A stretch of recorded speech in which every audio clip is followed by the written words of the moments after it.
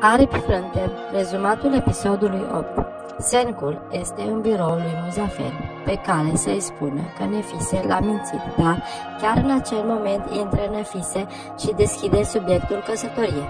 Sencul decide să păstreze informația pentru viitor și îi spune lui Muzafer că motivul vizitei sale este faptul că Nefise îi datorează bani.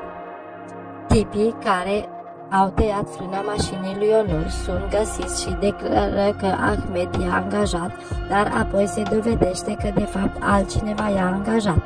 Khan vorbește cu bunica lui să o ajute pe Semre să își recupereze postul la salon. Bunica acceptă cu condiția ca el să lucreze la restaurantul lor. Zeynep îl evită pe Onur de când Nefise acceptă să se căsătorească cu Muzafer. Onur îi spune lui Muzafer că o iubește pe Zeynep și îl roagă să îi ceară scuză că că a umilit-o când a propus să o angajeze ca servitoare. Muzafer își cere scuze de la Zeynep de față cu Nefise și îi spune că nu a știut de relația lor. Zeynep îi spune că ea și Onur sunt doar prieteni, iar Muzafer rămâne cu impresia că ea îl iubește și îl sfătuiește pe Onur să renunțe la ea.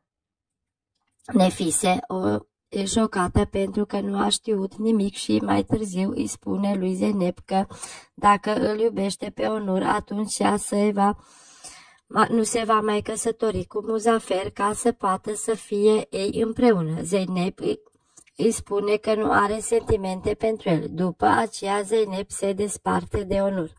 Zerin află că Onur s-a îndrăgostit de nepata servitoare și îi spune fiului său să nu le permită niciodată să fie împreună. Emel îi arată lui Ahmed o fotografie cu Onur și Zeynep sărutându-se.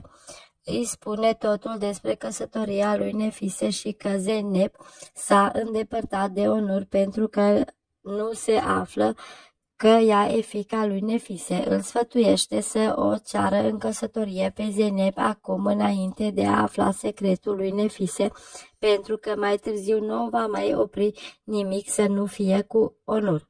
Ahmed o amenință pe Zeneb că îi va spune lui Muzafer adevărul și o presează să accepte inelul de logonă pe care i l-a cumpărat. Zeneb acceptă doar că îl îndepăr- să îl îndepărteze pe Onur. Onur îl vede în mașină când îi pune inelul pe deget. Mai târziu Onur, care și-a dat seama că Zeneb are o problemă, îi spune că o va aștepta și că va fi mereu alături de ea. Tuba află că Nefise poartă un inel fals și îi spune lui Muzafer. Nefise recunoaște că a vândut inelul ca să îi plătea, să-și plătească datoria.